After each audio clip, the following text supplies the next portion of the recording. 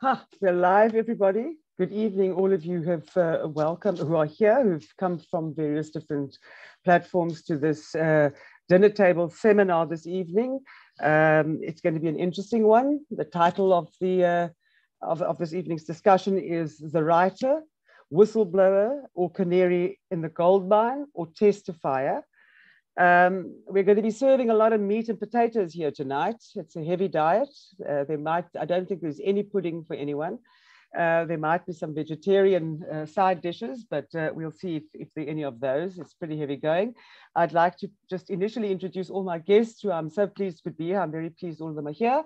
I'm your host for this evening, Marianne Thamm. Um, and I'm going to sort of go around. I'll start with Mandy. Mandy Wiener, welcome. Thank you very much. You're an author of, of uh, several books. Uh, the last latest one being The Whistleblower, Ministry of Crime, Brett Kebble. You're one of the, the finest sort of uh, chroniclers, I suppose, of, of, of, of, the South African criminal landscape in the last, uh, oh, you know, as long as we've been around. And I'd like to welcome you very much this evening for being here. Thank you. Um, Athol, Athol Williams, our, uh, our whistleblower. I met Athol a, a, while back in Cape Town in the middle of, of, of his troubles. Athol is a, uh, an extraordinary, he's a, he's a, poet and a moral philosopher and a whistleblower and um, uh, worked for Bain and Company uh, at a specific time. If people remember, Bain and Company were brought in to restructure SARS. Um, and uh, I, I, found Athol's relationship with Bain & Company very interesting. He's, he's been a part of the company for a very long time. So, you know, his actions to whistleblow uh, were more than just, uh, you know, I think the company had, had nurtured you and had seen your talent and had, had, had really helped you succeed in your life. So, uh, you know, especially difficult in, in, in those circumstances. Um, uh, we'll go through, you know, Athol will tell you his story in, in, in what happened to him. Uh, Themba Maseko, all of us sort of know, uh, he's been away for a while, former uh, uh government spokesperson or uh, who whistle blew, um, I think, you know, started, was in the struggle in, at the age of 13. As you know, most Black South Africans are born, were born into the struggle. So when they say at the age of 13, I'm sure it went back before then. Um, very much committed to, to South African democracy and a new government. And in 2010, um, Themba was called by, by the Gupta family and asked if uh, he and requested to move all the advertising, government advertising to the Gupta newspapers. And in fact, the former president also called Themba Maseko, which might, must have been incredibly scary when you get a call from someone and you're working for that government and, and they order you to do things. It's extremely difficult to go against that. And and I'd like to know what it was. I'll, and we'll explore that that Themba drew on to be able to stand up to, uh, I suppose, the very top, very apex of government. Brent Meersman has been around for a very long time, a, a, an editor at Ground Up, which does phenomenal work. I think uh, uh, growing young writers, growing young journalists, growing fearless young journalists in a space which is about the ground up, which is what I think this democracy is becoming. Um, uh, an essayist and a writer of fiction and poetry as well. So we've got these very talented people here. And Brent's latest book, which I have a copy of here, is called Rattling the Cage, which is a selection of essays. Um, uh, Brent's um, uh, you know, thoughts and and and and criticisms of the last uh, sort of 25 or years of, of, of, democratic South Africa. And there's some very important points in this book. And I love how you've revisited Mandela and looked at the legacy. So I would advise everyone to please get it and read it because it will add layering and nuance uh, to our understanding of this very difficult place we live in. And um, uh, I was just going to say, being amongst all of you, uh, we have to just reassure everybody that there are many good, competent, wonderful people in South Africa who would like things to be better, and this is, and you're part of that. Mandy, if you if you can just unmute yourself, I'd like to begin with you. You began with the book, uh, The Whistleblowers, um, and this entire sort of session is about the value of whistle, whistleblower. And we know not all whistleblowers are always necessarily motivated uh, by altruistic, through altruistic reasons that might be self-interest, but it doesn't matter because the end result is different. Um, tell us a little bit about your interest in whistleblowers and at this particular time and your book and um, uh, your, yeah, what, what, uh, how you came to know that this was something we had to look at at this point. Thank you so much, Marianne, and thank you to, to everyone who has logged in and who's spending uh, your evening with us. This is such an important conversation and something I feel so strongly about. Um, the evolution of, of the whistleblowers was a conversation with one particular whistleblower who I met several times and wanted to do a book, and ultimately that book did not happen. Um, but I realized through this conversation how, how important the contribution is from whistleblowers, the experience that they go through. And I thought, well, I think that we really need to shine a spotlight uh, on, on whistleblowers and their experiences and, and, and what they go through, their, their lived experiences. So I set about uh, finding whistleblowers and speaking to them. Um, my biggest regret is that I didn't include more. Uh, Athol and Themba, both of you, I, I have a huge remorse about that. Um, but the thing is, there are so many whistleblowers in South Africa. And if you look at the State Capture uh, Commission, if you look at, at Zondo, um, you know, you just see there how many whistleblowers have, have come forward. And I, I do interrogate the definition of the term whistleblower and the legislation in South Africa around whistleblowing. And as you say, Marianne, the, the definition is actually quite quite finite, but mine is much more broad. I believe there is a spectrum of, of whistleblower. I believe that there are some whistleblowers who are who are driven by altruistic motives, who do it because they are just compelled to do the right thing. They cannot live with themselves if they see something wrong happening. Um, they, you know, it is black or white for them.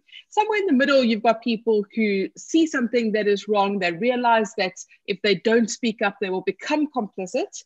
And that's why they are the unintended or the accidental whistleblowers. And then at the far end of the spectrum, you've got whistleblowers who are completely driven by self interest, by self preservation. And my argument is they remain whistleblowers and we still need them.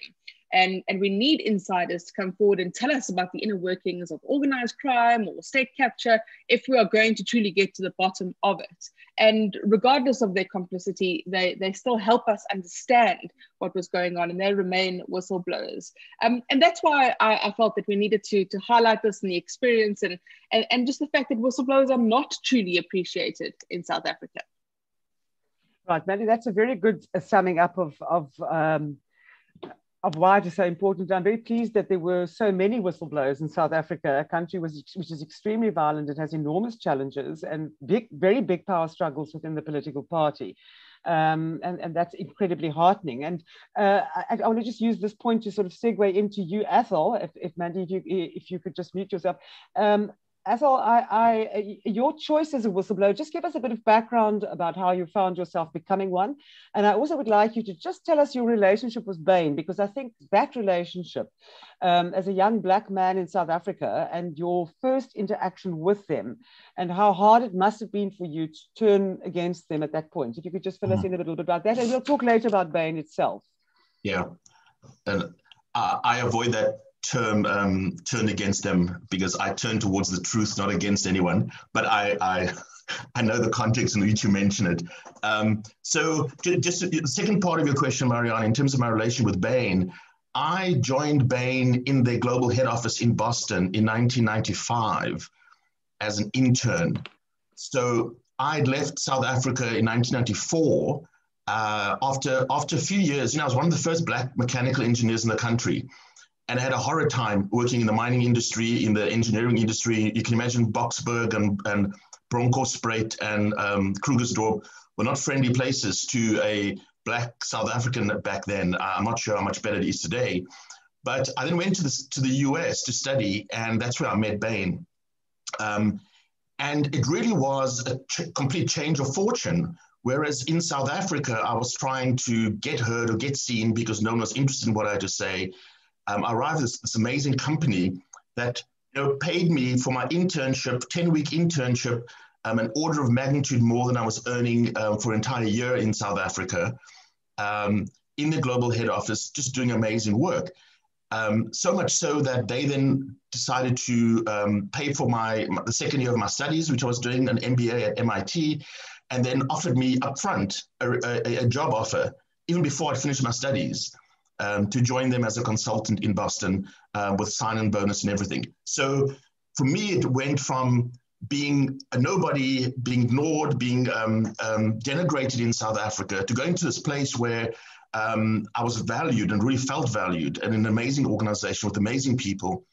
And financially, I went from rags to riches. I mean, literally, um, right in terms of what I was being paid. So that's 1995. At the age of 25, um, and I worked with Bain over the, the next 25 years on and off. I left a few times, went back a few times, but built this amazing relationship where there was trust, where there was, uh, no, I consider most of the Bain senior people my mentors. These are the people who who helped me grow as a business person. Um, and I would, you know, I moved from from from the US to London, worked a few years, went back to Bain again, and we, we stayed in touch. Even the years in South Africa where I wasn't at Bain, I was often called upon. Um, I did training for them. I spoke at recruiting events because I love this place. So, you know, when you've got a 25 year relationship with an organization who's given you so much as, as, as Bain's given me, and that you really thrived at, you, you form a close relationship. So when, when I got called, so coming back to kind of just the whistleblower story then, when I got in touch with Bain in 2018, which is when the story broke with SARS, so people might, might recall Bain was called into SARS um, to do this restructuring, which allegations are that that caused major damage at SARS and, and it's not going to affect on our, on our economy and our society. Um, I had been developing expertise as a, as a moral philosopher, as a social philosopher around reparations. So, whether nations, groups, companies do things wrong or harmful things, what's the process and the right thing to do to make reparations? So when I heard about Bain's involvement with SARS, um, it, it, it presented a great opportunity for me as an academic to actually bring some of those ideas to fruition. And so that's how I got involved. So I got involved with Bain on a contractual basis, then on a part-time employment basis, to help them think through under the assumption that these were good people, that they wanted to do the right thing, and all they needed was guidance on how to make amends in South Africa. Um, okay. Sadly for me, what then turned out was that um, it appeared there wasn't good intentions or entirely good intentions to actually do the right thing. Okay, we're going to get into that a bit, a bit, a bit later. I'd like us to get into the detail of that. Yeah. Um, Themba, I just wanted to move on to you at this point, if you could unmute yourself. Um, your, uh, I, I, think you might still be muted, uh, Themba. There we go. Uh, Themba, hi, welcome. I, um, your position is slightly different. You find yourself working within a government as a spokesperson for government, a very tricky, tricky job where you need to hold a sort of very professional line about what's happening behind the scenes. You know quite a lot as someone in the party, as someone as a spokesperson for government. Um, and, and, and it sometimes is at odds with one's, you know, you, you know, you have to toe lines, there are ways things are done, uh, but one can also bring oneself to any job where there are parameters to it. Um, tell us a little bit about your experience uh, as a government spokesperson, and then you know what happened, uh, and and your decision to, to fight back because it's it, it, it was a hell of a decision at the time. Uh, thank you, Marion, and good evening, everyone. Um, thanks for the invitation. Um, basically, I was I mean I consider myself as a child of the struggle. Um, I was part of a generation of activists who went into government with a view to actually make things better for South Africans. So I'm a civil servant at heart, and I went into government with a view to actually making a difference. What what happened at GCIS is that after working for so many years in that in that portfolio, I then got a request from Ajay Gupta in particular, who said he wanted to have a meeting with me. I delayed because I wasn't sure, and there were already uh, allegations in the media that he was not up to too much good. And then I eventually agreed to meet him because I thought, you know, I must get him off my back. I must just hear what story he wanted to share with me. And as I was leaving my building, literally within minutes of driving out of the building, I then get a call from President Zuma who says, there are these Gupta boys who want to meet you, uh, please help them. And, and I was actually quite shocked uh, by that call because he had never, after being with him for a couple of months, he had actually never made a direct call to me. So I, found the call to be strange. But nonetheless, uh, I started wondering why and how could the president call me about the meeting? And I told him, listen, I'm on my way to a meeting with the Gupta. So I started wondering, did they call him to call me to make sure that they put pressure on me or make it clear to me that in fact they were connected to, to the president? I was tempted not to go to the meeting, but I would I consider that to be open defiance of the of the president and I decided to go to the meeting. And I get to the meeting, Ajay Gupta, after a very brief introduction, he just simply says, uh, listen, we know that GCIS is in control of 600 million rands of advertising budget and want that budget to be allocated uh, uh, to the company that was set, setting up, which was the, the New Age newspaper. So in that conversation, I say, listen, that's not, how things work here. Firstly, GCIS is not sitting on a 600 million rands budget. The budget is sitting in different departments. So if we run a campaign, we go to departments, get money, and then do a media campaign on behalf of government departments. And he simply said, I'm not interested in that. That's not how things are going to work. From now onwards, you go to each individual department, tell them to transfer all the budget to you, and that is to me. And then I must transfer that money to him. And I said, listen, this is how, that's not how things work in government. And he said, listen, if there's a minister who's not cooperating with you or refuses to transfer the budget to you, uh, let me know. I'll sort them out. I'll summon them to my house. The meeting took place at his house in Saxonwold. And he said, um, I'll summon them to this house and I'll make sure that they transfer the money to you. And I simply walked out of the meeting because I just thought this was totally unacceptable in my view for somebody who's not in government to give me an instruction of that nature uh, and even tell me that he will sort out my principals, my ministers. And I found that to be totally unacceptable. And I just ignored the issue and I, I went on with my back to my office with my work. Subsequently, he then calls me and says, listen, or one of his people calls me and says the meeting is taking place, uh, or they want a meeting on a Monday, he calls me on a Friday evening. And I simply say, listen, you can't call me on a Friday demanding a meeting. Call me on Monday and uh, I'll, I'll set up a meeting with you to discuss what, what you want to talk to me about. And then the meeting, the call ended abruptly because I just found it too unacceptable for somebody to demand a meeting and a specific time. A few minutes later, Ajay Gupta calls me and says, listen, my people tell me we are being difficult. So the meeting is not going to happen on Monday. It will happen tomorrow, which is a Saturday. And I told him where to get off, basically. And a few weeks later, um, I mean, the president has never said any, did not say anything to me about this incident. Then a few weeks later, if not uh, a month or so, I then get a, a, call from my then minister, Minister Collins Chabane, who's now late, who says he's received a call from President Zuma, who says he's out of the country, and by the time he returns to South Africa, I must be out of the GCIS job.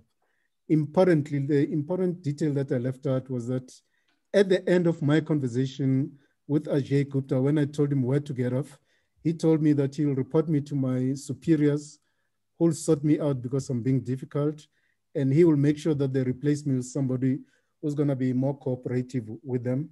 And that was the end of the story. So the meeting with Chabane happens, and I'm told that the president wants me to go. Chabane says, listen, he'll try and find a job for me. He'll talk to his colleagues in cabinet. And the cabinet meeting happens two days later. And while sitting in the meeting, I then get information that uh, there's a story in the media running to say I've been fired. I go to Chabane, Chabane checks with Zuma, and Zuma confirms that uh, I have actually been fired from GCIS. And Chabane had to make an announcement at that cabinet meeting that uh, I'll be leaving government. And he decided to place me in the Department of Public Service and Administ Administration, DPSA. And unfortunately for Chabane and I, the Minister of DPSA was not at the meeting, but I had to make the announcement that I was, I was now his DG. And I called him and said, Minister, you know, this is what has happened in, in cabinet. I'm going to be making an announcement. I'm making a courtesy call to you to tell you that, in fact, I'm your new DG. He was totally flabbergasted because he said, how could such an appointment be made without consulting him? And that was the end of my public service career because when I went to DPSA, after about three or four months, it became very clear that I was unwelcome. Uh, I was not introduced to staff. Uh, I was not invited to key meetings with the, the management team. And I decided that, in fact, this was not for me. I can never sit in an office and just become a clerk. So I decided to, to leave the public service. So in short, that was the, the yeah. story but an agonizing decision because here you have a career that you've you've dedicated your life to a party and a struggle you've ded- dedicated your life to but mm. uh, uh, it must have had such a huge impact on you being asked directly by someone who had no involvement with the ANC supposedly to be issuing orders that um, because you know we, have had issues in government before around but this this this broke this broke uh, uh the trust you had and and and uh, who you were, I suppose. It did, Marion, but at that stage, I mean, I did not realize that there was a bigger project, state capture project, unfolding in front of our eyes. I thought I was being victimized as somebody who had refused to comply with Zuma's instruction. It only dawned on me later on that, in fact, this was the case. And by refusing to cooperate with the Guptas, it was very clear that I was defying the most powerful politician in the country, Zuma, who was president of the ANC and the country. And, and I realized that, in fact, I was not going to have a, a good spell in the public service. But the biggest shock was that when I left the public service, and then life just changed for me. You know, you your calls don't get returned, you can't get a job, you can't basically do anything. You're just seen as the enemy of the state. And that's what the book goes into detail about. The risks. It's cold out there. It's cold outside the ANC. Absolutely. That's what they let you know. Um, I think you know I'd like to return to uh, to more of the story a bit later on because the president, so far as far as I can work out at Zondo, has denied any allegation where he has been personally in the room or involved or there. And your testimony is one of the strongest ones because the president called you personally, and in many of the other instances he denies any involvement. So you know you're directly in in, in conflict with with President Zuma, or former President Zuma. Um, Brent, if I if I can move to to you, um, uh, your interest and engagement as a writer and as a journalist overlaps these uh, these these this question. You know, so um, was, uh, you know, is Athol and, and Ntembe, are they canaries in the gold mine? And I don't know if people understand that phrase because it used to mean in the old days when miners would be uh, mining and uh, they would take a canary down in a cage with them because if the canary died, it meant that the uh, they were running out of air or that there was some sort of toxic or whatever would threaten the, the miners to underground. They would take this canary in the cage. And if the canary died, then they knew there's trouble coming. So that was just the, uh, uh, just to contextualize that. Um, but you work as a journalist, you've worked with whistleblowers at Ground Up uh, who come to the publication, work with other journalists, you've written books. Um, I'll, I'll, quote your, your um, very important paragraph later on about media freedom and the ability to do our jobs, because ultimately what people should remember is that everybody here, including the journalists, are doing our jobs in a constitutional democracy. They, you know, they, nobody is doing anything illegal here. No one's amassing money. No one is, uh, you know, exporting things. Nobody's doing anything. We're just trying to make a society work and make it a society of laws. Um, your perspective is varied, uh, but your latest book um, in relation to whistleblowers, have you, you know, what are your thoughts on their role? Uh, are they testifiers? Are they canaries in the gold mine? Or are they none of those things? Are they just something, you know, um, uh, that we, we naturally all have, where people do, there are good people somewhere who just won't tolerate something they understand is to be massively fraudulent or wrong or corrupt. No, well, I'm, I'm relieved to say that I, I do not have a story to tell like Athol Ntembe. Um, and my enormous admiration and great respect uh, for them, and also for you, Marianne, and, and for Mandy, uh, and the work that you that you do. Um, now, I personally have never had death threats, but I know other people in this room have. Um, of course, we are the canary. Just to go back to that canary, you know, the, the, writers at the moment, and especially with climate change, we really are the canaries uh, in the cage. I mean, we're sitting there shouting methane, methane, and uh, everybody's waiting for us to drop dead in our cages, as we are expected to do. But but writers have always held up the mirror to society, and uh, you know, and, and Caliban hasn't always wanted to see his face in that mirror. Um, and that's you know that's part of the the complexity of the issue which i which i go into in the book. And that is that you have the whistleblowers and, and and we can we can shout from the rooftops and we can do a lot of investigative journalism and expose things but we are not always thanked for that and we're actually not always thanked for that by the public either the public seems to sometimes uh, believe, attack the media for exposing the truth about the people that they happen to vote for and, and, and, and very much admire. So it's, it's, it's, it's a difficult position that we sit, we, we, we sit in. Um, and there's a kind of a presumption that uh, you know media freedom and its ability to change things presumes that people are interested in the truth but I think human beings have a very complicated relationship with the truth. And it's because, I mean, the most obvious example in recent times has obviously been the United States. Um, and uh, but but on your question of whistleblowers, um, and I've and I've talked to Mandy about this before as well when her book came out. Um, absolutely essential for society, um, and I agree with her. And as long as we have people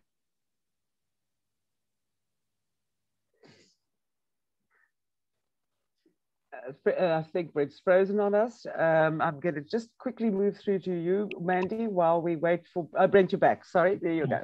So, so whistleblowers, yes. Yes, so I would just say that yes, whistleblowers are absolutely essential, and it really depends. Uh, they, they need to be supported, and they need to know that the journalists are there to. to them.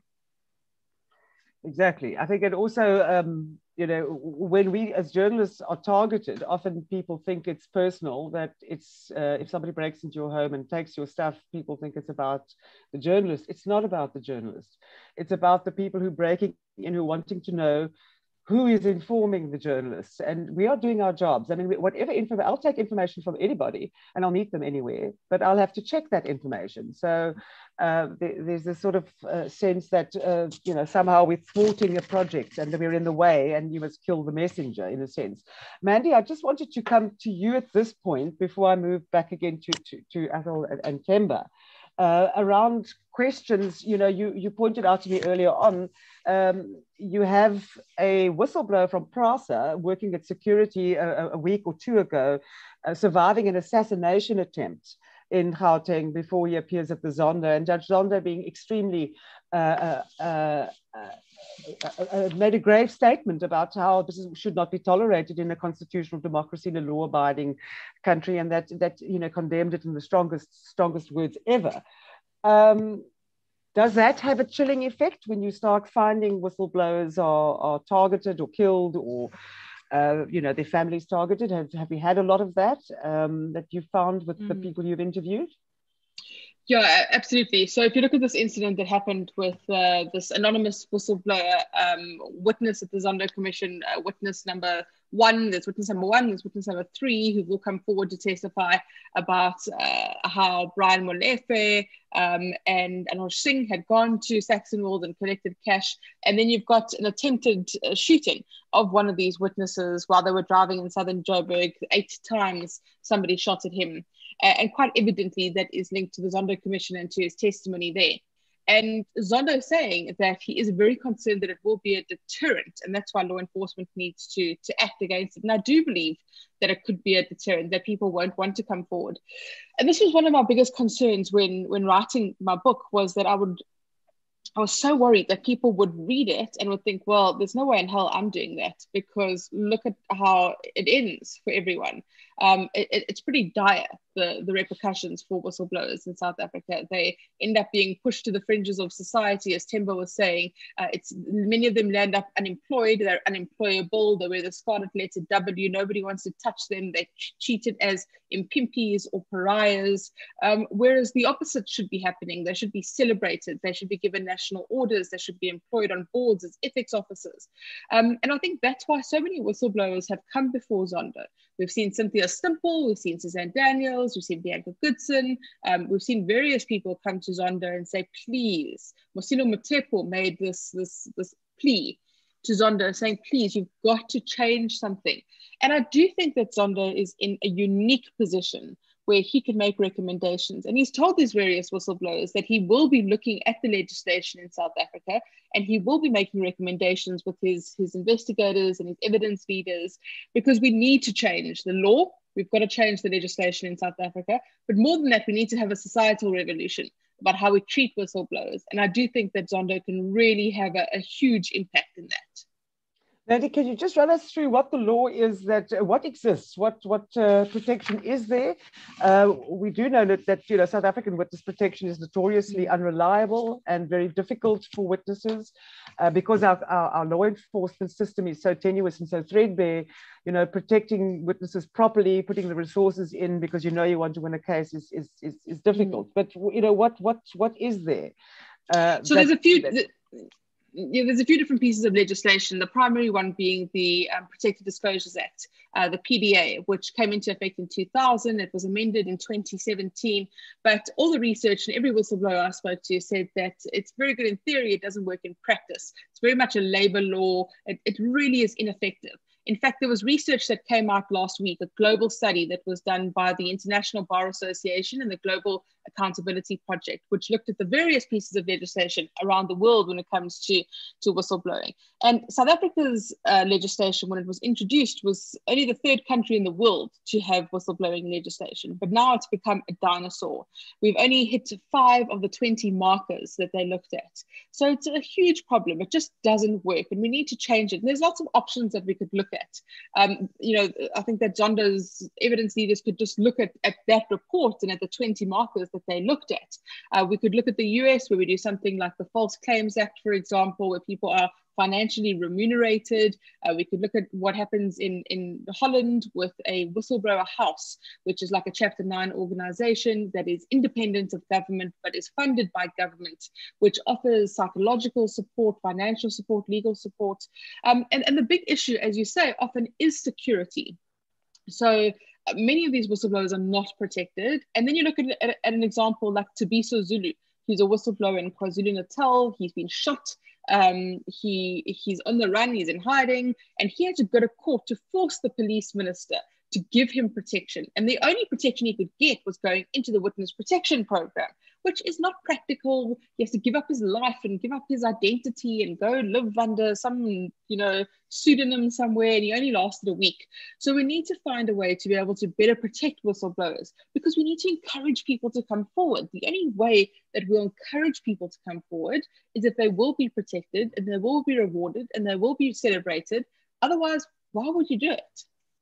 And also for people to understand that the work that, that journalists do is, and uh, most of us, and the work that whistleblowers do is on behalf of, of, of the citizens of South Africa. It's, it, it's not part of a faction. It's not, it, it might have been to start off with, but in the end, as you see with Zondo, he strips away all the meanders, so to speak, and we get to the facts.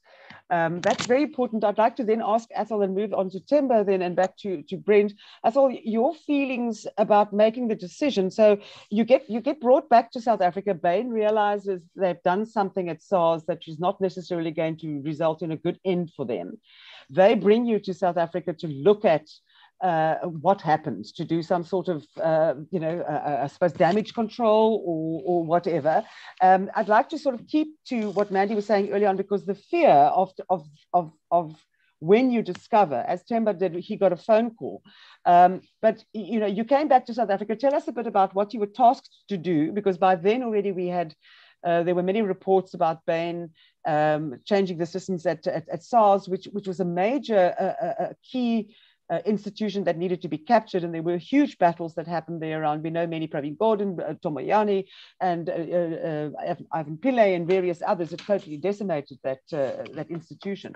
Um, if you could just fill us in on that.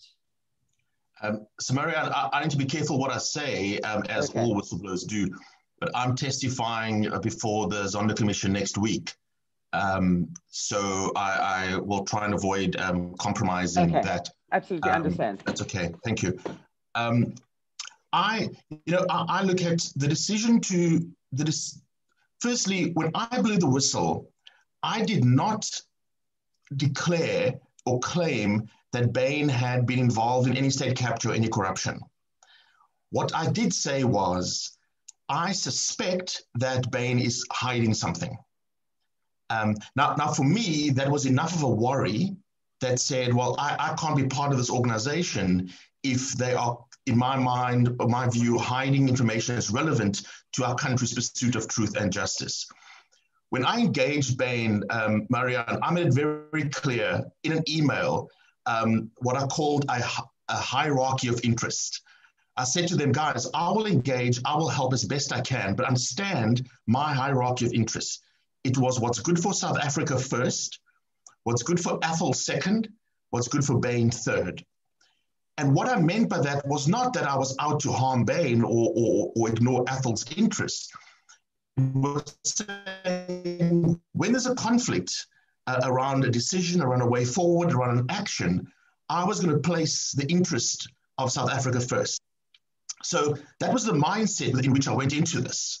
Um, and I think when whistleblowers think, whether implicitly or explicitly, think about blowing the whistle or not, I think you're trading off the cost to you of blowing the whistle and the harm you see or the danger you see or the harm being caused.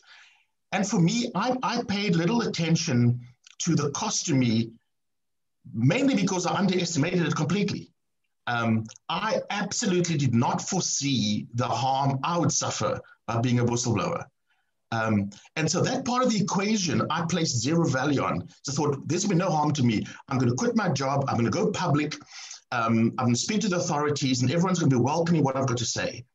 Um, and that was completely wrong because linked to what all the others have said already, I discovered that actually no one celebrates what you've done. Um, and this is shocking. I mean, this is shocking to me that I, not a single law firm, although the big law firms in this country would represent me. Um, not a single one of the big names. Those are contacted for pro bono help or paid help said no, no, based on the people you implicate. Now, I implicate 39 individuals as agents. Based on those you implicate, that's too messy for us. We don't go near it. So think of all the big name law firms, all of them. And they said that straight straight smaller, out to you. There's too many big names firms here. Help. But okay. the never had months, I for, for 18 months, I worked without legal representation, um, compiled my affidavit, which ran into 700 pages without any legal help. Um, so, so that's one aspect. So the anxiety that created and still holds today is I have no idea what legal risks are embedded in my affidavit because I wrote it by myself. I sat there as an individual writing it. So that's the one. I think this idea, people often ask me, did you get death threats? As if that's the only measure of the cost whistleblowers face. And, and I haven't had any death threats. I think the cost is the perceived risk you face, right? So I know the great extent Bain and others went and still are going to block my testimony. I know the legal and financial threats Bain have made. I know all the attempts to get my, my, my, my, my testimony not to happen. So in my mind, if someone will go to that extent to keep me quiet, what stops them from just the next logical step? So for me, it was always the perceived danger of, of, of speaking out. And like I said, for me, the danger came afterwards. The mental health problems, the physical problems. You know, I had a molar, one of my teeth shattered, not, not from grinding, but from clenching. The whole tooth shattered that needed to be rebuilt. Um, and so when you then speak up, and I've spoken up at conferences where I've said, people, I need help, right? Um, I was at a conference uh, where, where um, Mervyn King had invited me to speak. Not a single person came and said, how can we help? Now, I think this is an important question for us, right? Because Mandy was saying uh, whistleblowers should be on ethics committees, for example, and boards, um, etc. We've got to ask ourselves as a society, why do we ostracize whistleblowers? We know it's a fact, but the why is interesting. Because if we in South Africa, all our companies have got so many skeletons to hide, we don't want honest people around, right? Um, and so for me, that's the explanation. The explanation isn't that we think that these whistleblowers are bad people, is we as a country harbor and celebrate this unethical behavior. That these whistleblowers have shown a propensity to raise the alarm. We don't want them near us. Well, in your case, it's also you, you're dealing with the professional industry. I mean, I can understand in the greater South African struggle history that, uh, as Mandy said earlier, that you know anyone passing on information to the state in those days was seen as an impimpi, and correctly so. I mean, the state was the enemy of the people. Uh, now the state, I'm not sure if it's what it is. Um, uh, and so it's a, it's a different matter in a sense. Uh, the impimpi uh, stigma has remained in some areas, and, I, and I'll, I'll segue with that into Themba because Themba will understand the importance of just how deep that runs. But you know, not, none of none of the whistleblowers are impimpis. But but Themba, the decision you made to leave must have been very hard for you, and you must have known it was going to be very cold outside of the party, and yet you still, uh, a lot of whistleblowers are offered money or offered positions and accept those those gratuities because I think to the the fam, the, uh, the Gupta family members we're speaking about here, who have been spoken about at Zondo, were not adverse to offering large amounts of cash in duffel bags, apparently, according to some testimony. Um, what what uh, what were the considerations you had to make, knowing you would leave a well-paid job as a DG, almost the equivalent or more? Um, to take on, I think, a, a, a a, ruling party with whom you had grown up, I would imagine, or with whom you had an affinity and whom you worked for. It must have been uh, extremely painful. It, it was painful, but let me just start by saying that initially, I didn't see what I was doing as necessarily whistleblowing. I was defying the Gupta family and in an attempt, in the process, trying to defend the state. Secondly, I was defying Zuma, but I never went public when I did this. It's only much later when I realized that this is a much bigger project. There was more corruption taking place, more SOEs and, and government departments being taken over by this family. That's when I decided to speak out publicly. But I mean, are we're talking about close to three years of me sitting with this pain inside of me of not being able to speak. When I took the decision to leave government, um, I was hoping, maybe naively, that the political party will take steps to stop this. And, and that's where my disappointment, my biggest disappointment, uh, came from your, the NEC of the ANC, your parliament, uh, defending what was taking place in the country. But I never expected um, the kind of cold shoulder I would get also from the private sector. I mean, applying for jobs and seeking employment just became a no-no. And I started understanding or tried to understand why that was the case. And it became very clear to me that in fact, the political elite, the ruling elite, in the case of the ANC, the strong affection at a particular point in time is almost feared uh, in the country, both inside the ruling party itself but also in the, in the, in the private sector because none of the companies wanted to be seen to be associated with somebody who exposed corruption of a leader who's part of a political party or the president or part of a, big, uh, of a strong faction uh, with, within the, the ruling party itself. So that was the bigger shocker. I never anticipated this. Um, I was hoping that I would also, you know, pursue entrepreneurial opportunities, become a business person. I tried a lot of business opportunities and went to financial institutions to seek for funding. And I was met with a cold shoulder from your, your government owned institutions, funding agencies, your banks. Nobody was prepared to even look at my application because I was told, even before this notion of a, a PEP, a politically exposed person, before it had become popular in the country. I was told point blank by banks that in fact I'm a politically exposed person, so my application will receive greater scrutiny, and that greater scrutiny meant a decline or no response to a lot of my applications. So it's it's things that you never anticipate. And I was saying, I tried to spend time explaining to these banks that yes, my name is a is appearing in all the newspapers all over the place, but I'm there exposing corruption, exposing state capture. So although I'm politically exposed, but I was exposed for trying to do what was right for the country. And the, the, the financial institutions did not want to see the difference. They just said, you're politically exposed. We see you as a potential threat. And nobody was actually willing to, to touch end of my proposal. shocking. So it's absolutely it, shocking. It was, it was something that I never really anticipated. Well, strangely enough, those very same banks seem to didn't notice when a lot of money left South Africa for Dubai, and they are now sort of claiming they had no idea. If you and I owe them 24 and 95 on our credit cards, then they phone us every day uh, and I think uh, um, Mandy mentioned earlier on, I think South Africa, or was it Athol, or I'm not sure even if it was if it was Brent about that there's something, uh, you know, business in South Africa also lacks ethics. There is something about mm-hmm. protecting your interests, protecting uh, um, uh, but they don't realize in the long run, we had a similar situation, I think, um, around whistleblowing in the pensions, the, the 30 billion rand in unclaimed pensions, which was sitting with the, with the, with the various companies uh, who were, were administering it and, and earning interest. And uh, whistleblowers there, funnily enough, somebody phoned the, the, the, corruption line and whoever took the call in the corruption line in the unnamed insurance company warned their bosses that there was a mm. whistleblower within the insurance company.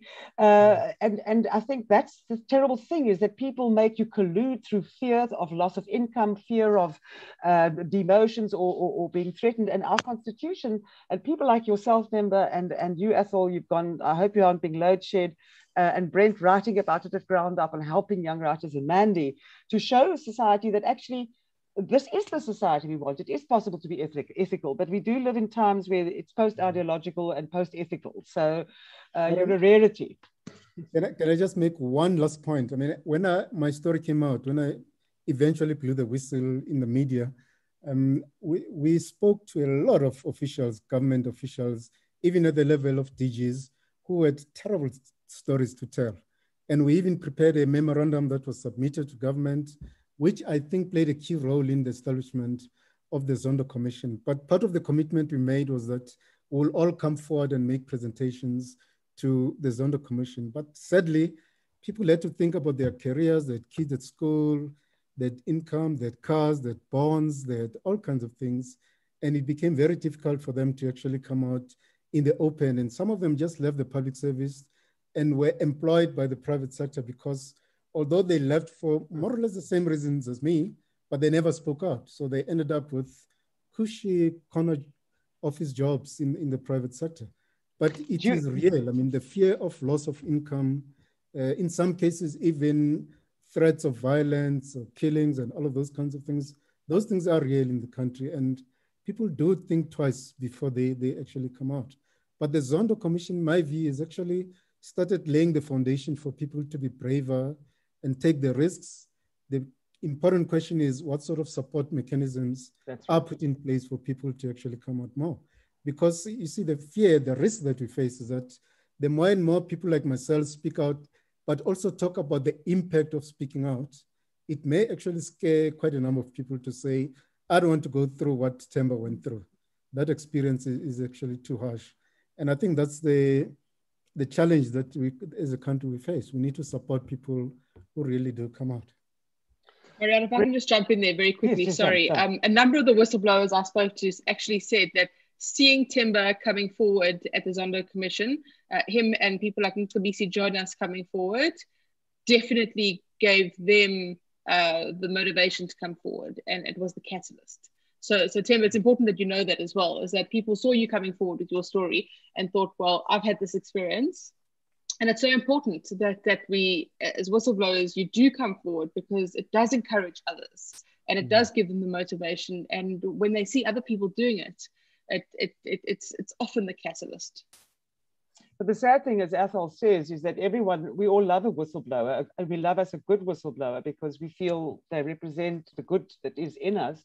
But once they do so, I mean, I don't remember whether you got any legal support, whether anybody came forward and offered, you know, once you've done it, uh, you, you actually, as, as Athol said, both of them, I think, didn't think about where this would go. And it's, it, you know, and you're helping shape new ways of doing it. But um, it's still not easy once you've made that decision.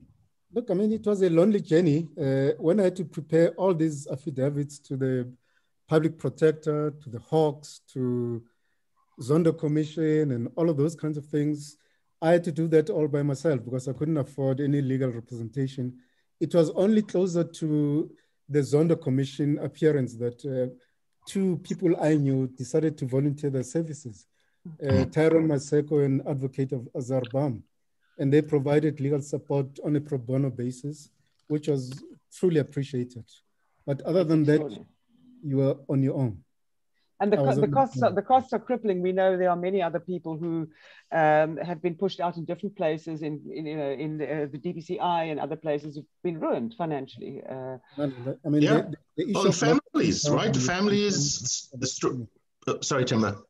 Mm. No, no, I was just saying the, the loss of financial income. You'll see in my book, I talk about the fact that the last time I had a formal salary was somewhere in 2011. So between then and now, you just make ends meet. I was fortunate that I ended up joining some friends in some investment company and I was able to get some payment via that option. But as far as formal income was concerned, it was just a, a zero situation, which was the reason why the banks were refusing to provide any form of support because they were saying, you don't have income, so why should we even look at your personal loan or business loan? You've got no income, you haven't earned for so many years. So at a personal level, that hits you very hard. Brent, uh, um, uh, I wanted to just get your sense of you. You know, you've written several works of non-fiction, which which uh, there was a trilogy of them, uh, Five Lives at Noon. I don't know if that's the entire trilogy where you looked at people's lives and lack of agency and and uh, uh, so you have a historical overview also, even though you've written it as fiction about South Africa and the role of whistleblowers or people who, who spoke up then. Do you, and, and, and we also know that South African business, um, um, you know, colluded with whichever government was in, in power. This is not anything new. Uh, there are many, it is now spoken about by certain groups of people as white WMC, and to a certain extent there is some truth in this, and which is why the, the, the, the slogan is so seductive in a way. But as a journalist, having covered uh, politics for, for a, very long time in South Africa, what, are your, what is your assessment of um, how we've handled the last 25 years and the fear, because I hear the word fear so much uh, in, in, in this conversation from, from everyone. Yeah, well, well, what what what Themba came up against, of course, was the you know that you know big business and private corporations are deeply in bed with government, and if it's not just because they're doing a lot of business with government, uh, they also want to influence the regulations in their favor. So yes, a politically exposed person is is is, is a liability and not an asset for them. Um, so that is a, that is a thing. Is that our big corporations are not necessarily interested in cleaner government, although they should be. Uh, but that's always been the case, and, and and those networks that were established, as we've you know we've seen uh, in excellent work that has been done in the last few years, you know those those connections that were established under the apartheid regime have actually in many ways continued to to to exist and have have perpetuated. Uh, but I wanted to uh, bring it down as, as we always do at GroundUp because um, we are flying very high and very important stuff on, on but you know even just whistleblowing on, on, on, on, on the ground level which affects a lot of people's ordinary lives. So we at GroundUp you know we cannot you, you cannot get a school principal to speak to you on the record or a doctor in a hospital um, no matter what is going on in those places to blow the whistle or to or, or even just to answer pretty ordinary questions which are in the public interest like you know well how many covid patients do you have? Or whatever it is you know?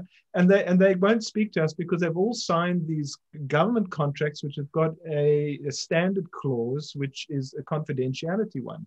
And it seems that if they criticize their employers in any way it's considered irresponsible. Now I, I, I you know maybe mandy can uh, come in here as well is that i mean I mean, surely that is unconstitutional, those confidentiality clauses, and don't they need to be tested? Um, that why are school principals, doctors, ordinary people, anybody employed by government, so that they cannot speak to the media, they cannot even give us a comment, it has to be referred to the spokesperson, um, where the narrative gets controlled, uh, because they are going to get into terrible trouble with their employers.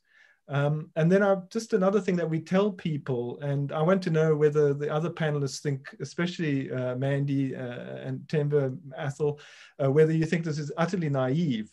Uh, but we often say to, to whistleblowers, you know, the more you expose and the more open you make the information, the less likely you are to, to, to come to harm. If you've put everything out in the public domain and you've got nothing else left to say, and it's all there and it's been testified and it's out, um, unless people are particularly vindictive and, and, and, uh, and, and malicious, uh, isn't, isn't exposure and ex putting things in the light maybe your best protection? Mandy, if you want to pick that up, uh, has that been the case for the people you've mm. interviewed? Yeah, I do think that uh, often the view is that sunlight is the best disinfectant. Um, and the more you come out, but but there still remains this element of, of, of fear because there, there is vengeance. Um, a number of the whistleblowers uh, do so anonymously. I write uh, in my book about a whistleblower on Etold who, who did it anonymously and today is living a perfectly fine life because nobody knows about him. The, the Gupta leaks whistleblowers remain anonymous, but they are still very concerned about, uh, Marianne, as you would know, about any kind of vendetta or any kind of threat against them. Um, so it's difficult to just move on. I think people still ha have enormous concerns about the uh, state apparatus and what can be used against them. Uh, as we all know, crime intelligence was captured, the NIA was captured, uh, state security, uh, you know, IPID, the whole lot. Um, and for that reason, I think people were just absolutely terrified about coming forward. Um, and, and, and, it is concerning for people because they, they are so fearful of, of coming forward because of the repercussions. And, and often it's, well, where do you go to? So a number of the people that blew the whistle during said capture, and Themba, you'll know this as well, they said, well, what do you do if your minister's captured? What do you do if the board is captured? Who do you go to? Um, you know, a lot of people went to the public protector. It took a long time for anything to, to get done. You go to the police, the police are captured, uh, which leaves the question of like, well, who do I tell? And that's why it took so many state capture whistleblowers a very long time to, to come forward because they were mulling this. They were like, well, can I tell this person? What will happen to me? What will happen to my family? Um, and that's why there is this element of fear underpinning coming forward for, for a lot of people. I have uh, we've we, we have, we've uh, got a little bit of time left. There's some questions coming in. I'd like to just ask. Uh, there are two here from uh, uh, Johann van Loggerenberg, who many people will know, has written several books of his own. Was an executive at SARS, driven out. Uh, his first question which I think we touched on earlier, but it just it, it, it's it's more nuanced. Is what are your views regarding the current state of Protected Disclosures Act and what can be done to update and modernize it? I'm not sure if anybody here has some suggestions on that uh, coming from where you are? So I've spoken about it already. So if anybody else yes, wants to yeah, jump yeah, in, yeah, feel, feel, free. But there, there are definitely things we can look at. And I gave a copy of, of my book to, to the Justice Minister um, because I feel strongly that we need to uh, to change the, the legislation here. And there, there are options that can be looked at. I don't know if anything is currently being done at all. Okay. one, one idea. Yes. Sorry, Marianne. Just just one idea. You know, we we talk we talk a lot about um, needing to protect whistleblowers. Um, we we we rarely talk about punishing those who are causing the whistleblowers the distress, right? So Themba talks about having gone to the banks. Well, there's only six or seven banks in our country, so we know who they are. Um, so why is there no repercussions for them? Um, right? The threats I'm facing, there's absolutely no repercussions. There are no legal repercussions for a company to be threatening a whistleblower in their employ. So I think those are some of the things the PDA does have to deal with. Um, I, you know, my story, I was part-time at Bain, part-time at UCT, right? That, that was my arrangement.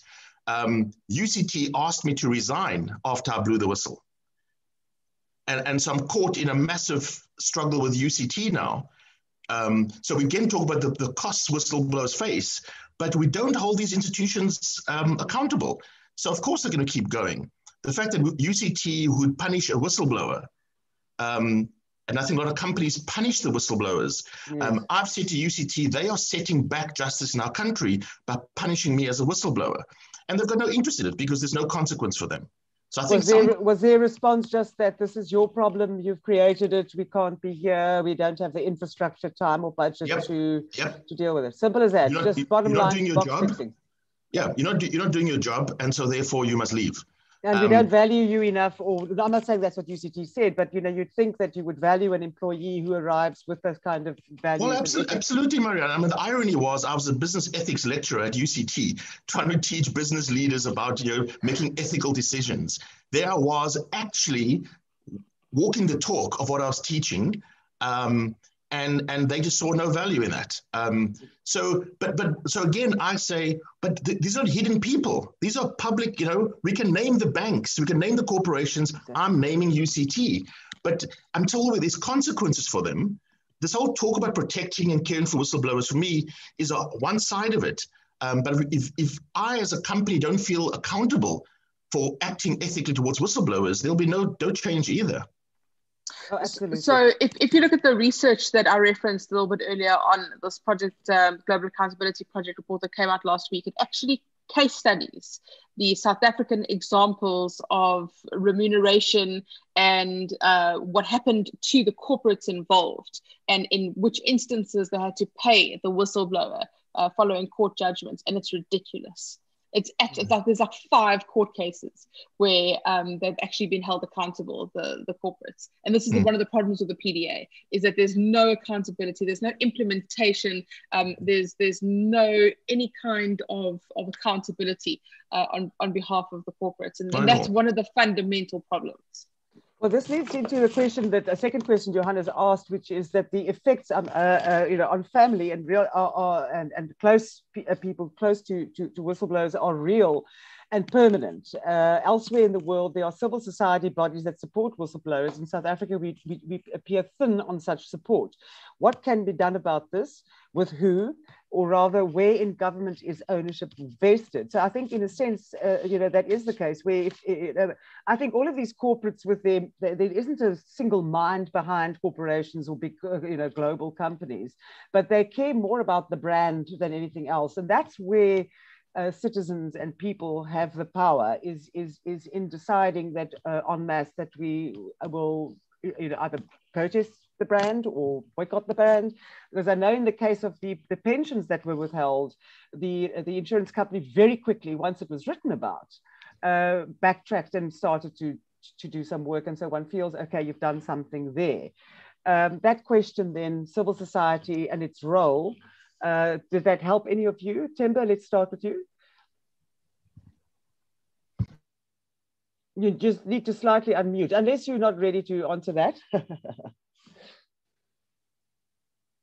I, I, write quite a bit about it in, in the in the book, uh, but um, look, I think that Mandy in her book does give a, an outline of uh, the current legal environment, and I think that it's something that needs to be studied. I really think that um, there's got to be stronger civil society participation. I think that civil society can play a much stronger role in making sure that they, there's enough lobbying to change the legislation, but also work that needs to be done to support families of whistleblowers. I mean, we talk about cases of people, for example, losing their jobs, taking their kids out of school. I mean, worst examples of whistleblowers being killed, uh, with no support being provided to their families. So the impact on families beyond just whistleblowers is actually quite huge. And I think that um, we, we can't expect government to be playing that role. It must contribute financially to some kind of process. But for government to take charge of that process, I think will not give people enough confidence because remember, the real issue is that a lot of the complaints are going to be about government you can't have private sector playing a leading role there because there will also be a lot of complaints or whistleblowing about what's happening in the private sector. So if private sector is in charge, it will actually discourage people to go and talk to those uh, Uh, institutions. So civil society or some kind of parastatal organization is established, given resources by both public and private sectors, because they, the leadership of the public and private sectors need to demonstrate commitment to fight corruption, to expose state capture, but also support those who are willing to actually speak out. And I think that an independent structure could actually play a much more stronger role to protect, support whistleblowers, but also something is done to support the families of those who have blown the whistle. I just wanted to mention to everybody your book's title is a beautiful title called For My Country. Uh, so uh, we didn't mention that earlier on. I think it's an absolutely beautiful title, and I really look forward to it. Uh, Brent, I just wanted to move to you and talk about truth telling, uh, because that's in a sense uh, what whistleblowers do. But we do know we live in a world which I think Kellyanne Conway was the first to use the word of alternative facts. Uh, and you said this much earlier on in this webinar that people have a very strange relationship with the truth. And here we are dealing with people who are telling the truth, and yet we as society want it. But when it happens, we seem to all run away because we're cowards. I don't. It's a difficult question. I don't know if you if you have any thoughts on on what you've seen in terms of um, smaller whistleblowers down on the ground and elsewhere about truth telling and how people will construct the truth and tell you basically you know a government is doing something in a particular way because that's you know that these people are uh, the guptas are here they're uh, a new business they're a patriotic business family and you eventually start buying the lie that actually yes we're on a mission here we're on a political project to oust uh, you know a, a, a, an embedded financial sector and be bringing in new investors and these are the other guptas. I mean vincent smith said something really interesting in his testimony. And I found his testimony um, very moving because he, he explained to Judge Zondo what happened with the ANC when people returned was uh, there was a discussion amongst the party that we're looking for patriotic business. You know, that's what we want. We want people who support the, support the government, who are going to help our initiatives. We've got this broad vision. Uh, you know, we know what our policies are as the ruling party. And so when you're in it, as Themba says, you're not quite sure. So you know, Vincent said, well, when Bosasa came around, I thought, hey, the Watsons are cool. They're supporting uh, their patriotic business. And you realize how the lines blur. Uh, how do we counter uh, the other the social platforms that exist where um, you know truths lies can be you know uh, uttered uh, until they become truth in some people's minds and what role is the media playing there too well I mean, yeah, well, the, the uh, you know, ironically, I, you know, people always ask, well, you know, do we trust the media? And and and I would sort of reply, well, not when it's been drinking. Um, but the but the media certainly uh, is is trusted in the sense that even when we get it wrong, um, uh, what we say is is is rapidly repeated, uh, you know, by everybody. So there must be some level of trust uh, uh, out there in, in the public. But I, th I think the I think the important thing here is that when we're talking about you're talking about the fake news and about controlling the narratives and about this political spin. This is why it has become so important for certain elements in this country to want to capture the media, because that is the way you do it so that is a, you know that is the big uh, the, the, the big thing we've got to watch out for is that the media do, does keep on telling the truth and it does have the independence and the ability to stand up against these kind of forces that we are discussing which is exactly why the media was targeted. I mean at a time when uh, parliament was not exercising its uh, executive oversight when the national you know prosecuting authority was paralyzed uh, when the uh, public protector was unintelligible, uh, when the uh, the uh, the law enforcement agencies uh, had been captured.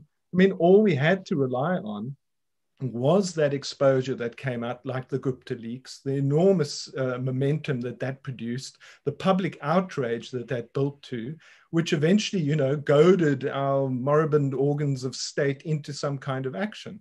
So we mustn't lose sight of that. We're talking about certainly strengthening the legislation. We're certainly, you know, talking about that. We're certainly talking about supporting uh, whistleblowers and developing uh, the uh, uh, uh support for them in civil society. But we mustn't take our eye off the ball. What we've got to get back is our intelligence services, our prosecuting authority, our public protector, and all these other bodies to do their job and to do them with the independence as outlined in the Constitution. And that, that is how you, you know, protect a whistleblower ultimate, ultimately. And also for you know people like Themba Maseko in government, you know, professionals who know their mandate, who know the legislation, who know the rules and know the law, where you don't overstep, where you know there are there are checks and balances already in procurement and you know PFMA. We have laws that are there. It's just that uh, you know I, I, think a lot of people just don't understand them, don't uh, uh, are told to ignore them. Uh, and, and, and uh, the fear factor to me is something that I, I, find quite worrying and, and it's been worrying for a very long time. We've, you know, we, this country is ridden with fear from crime through to, you know, uh, exposing high level elites, and I'm talking business elites, starting with them then the banks and then, and then government itself. We've gone a little bit over time. I'm going to allow us another five minutes and I, I'm not sure if I've covered um, everything uh, that those of you who are in the thick of this feel needs to be spoken about, needs to be covered in this particular forum. So if you have anything I haven't touched on that you feel you'd like to say, um, we can perhaps end off with with uh, with all of you kind of uh, Athol, you are, you know it's it's going to be a long testifying for you coming up and and Themba, uh, uh, you have testified already. I'm trying to remember whether you have testified. I've testified thrice already, but I'm still right. to be called as, as a witness if somebody wants to interrogate me. I don't think they will, but let's leave it at that. I think they're busy. they're having tea. Whoever wants to interrogate you, sorry. Uh, but uh, you know, if anybody else, I don't know, Mandy. Uh, I'll come back to the two of you. Mandy, do you have, you, have you got some closing words around? Uh, just, I think you said something very important that we need to create a whistleblowing culture and support for whistleblowers and for us as the public to own them. And they are heroes. I keep on thinking we should put up a statue outside Parliament to the unnamed whistleblower uh, if people don't like the general outside Parliament, uh, we can just change him to the unnamed whistleblower. No, says no, says Athol. Why not? Uh, I I don't want us to caricature whistleblowers. uh, because then it feels like, okay, we've done our job, we've recognized whistleblowers and we can move on. I'm very seriously worried that we just ignore the perpetrators, which are all the enablers of, of, of, of corruption. So, you know, because we'll end this call and tomorrow we'll go and say, wow, look at that great CEO, that great leader in our country. But these are the very people who are punishing whistleblowers. And so I um, we can put up the statue. Let me not poo-poo that idea. It's it's just I want to take take seriously this issue we face in our country. I tell you my take on it, Marianne. I think this our lack of interest in supporting whistleblowers is consistent with our with our weak social cohesion in our country. We treat our whistleblowers differently to be, the way we treat the poor, the way, the way we treat women who have suffered gender-based violence, the way we treat um, activists, uh, uh, anti-apartheid activists who are in the shadows. So there is a there is a, a deeper difficulty in our country of not really caring for each other, right? We all walk past someone lying in the street and kind of think, oh, he's probably drunk or whatever it is. And so that's been my experience of it, that it's, I'm not appointed government, uh, partly as, as Brent was saying, just to have these singular ideas. It's state capture happened because of its network effect, not just because of Zuma, right? The, the, the, those complicit go to the JSE and go down the list and confident to tick every one of them and keep going because they were all complicit in this. And the same people who were complicit in state capture are now complicit in the cover up and, and punishing those who do speak up. And I think until we are serious about addressing some of that as well, I don't think we make much progress. Okay. I think load shedding has, has taken um, uh, Mandy off, off the grid. She's gone black. Uh, Themba, if you have some final words for us, uh, perhaps that you, you, know, where you'd like to sum up. I mean, it's been a hell of a ride for you. Thank you for what you did. Um, you're an example to all of us. You do. You make us all braver. You really do. You know. I mean, I, I wish we could all just, you know, go rob a bank and give it to you, but we can't. That would be illegal. Themba. Now, thanks for the opportunity. I think that uh, writing the book, I want to bring it back to that, was an opportunity for me to reflect uh, on what I did, why I did it, and also explaining and encouraging more people to actually uh, come out and, and, and expose the, the rot that's happening both in the public and private sectors. Um, and also want to take the opportunity. I mean, I didn't, in this conversation, I didn't say much about the important role that media has played. And I think it's been mentioned. I'm glad it has been mentioned here because in my book, I do mention the media because without the media, a lot of what we're talking about today would not actually be, be taking place. And I fully concur with the view that we should also not just talk about whistleblowers, but also talk about those who enable state capture, corruption to take place in the country and actually make sure that people are held accountable.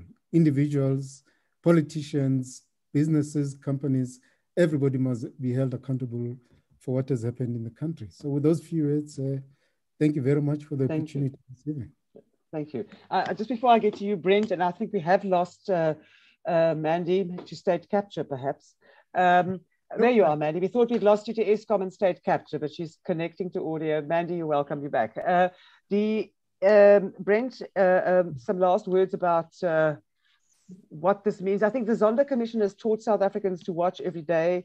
Uh, many of us do. We're addicted to it. Many of us are not. I look at the South Africans talking to each other on the side, but they're not fighting and insulting with each other. They're fabulous. You know, that's what we are. We're lovely people, and but when we get cross, we kill each other. You know what I mean? But um, the Zondo Commission has also enabled us to understand and see the law, how it works in a very unique and extraordinary way, which we not haven't measured yet, in how it has people, you know, hearing me tell you that a politician has done something or a businessman has done something, you can point at me and say, you're the media, you're lying, you're white monopoly capital, or you've got an interest.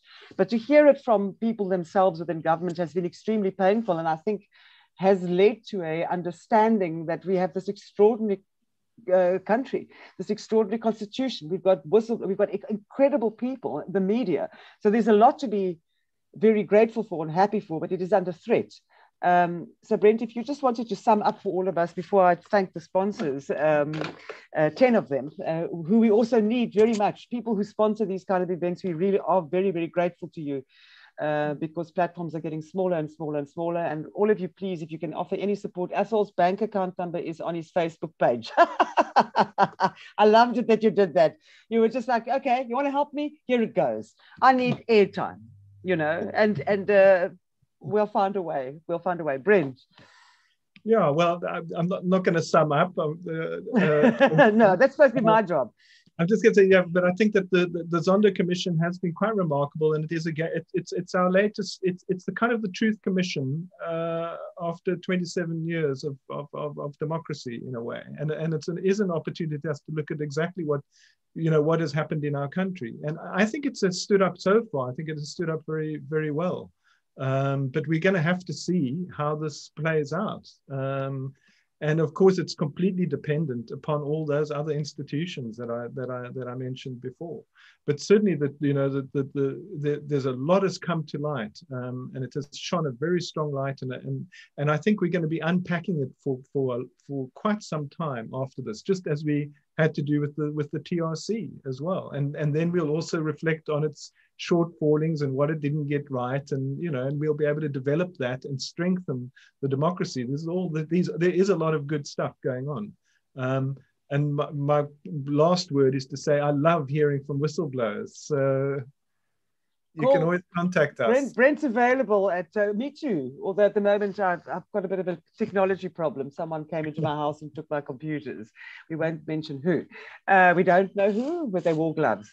Uh, I thank you very much to all of you for the work that you do, for being here this evening. Thank you, thank you to all the participants who attended this uh, this uh, dinner table seminar. They were meat and potatoes. You can go make your own pudding. There isn't any at the moment.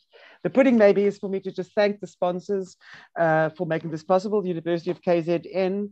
Uh, some of them I can't read my own handwriting. the Department of Arts and Culture uh, the KZN Departments of Arts and Culture, Foundation for Human Rights, the National Institute for Humanities and Social Sciences, Amazwi Museum, uh, Media Imbiza, Journal of, uh, I can't remember, I can't see my handwriting there, and Hear My Voice, who is an NPO who have hosted this after this, this, so wonderfully hosted this evening. Thank you to all of the team there uh, for making this go so smoothly. And we don't want to thank Eskom for anything, so we won't. Um, enjoy the rest of the festival. We look forward to your books. Athol, I would recommend people buy uh, all, all of the authors here will enrich your life and bring you nuanced uh, perspectives on and, and, and our, wide-ranging uh, subjects. So thank you to all um, and go well. And uh, we will all connect soon, I'm sure, very soon. So thank you. Thanks to everybody. Good night. Thank you.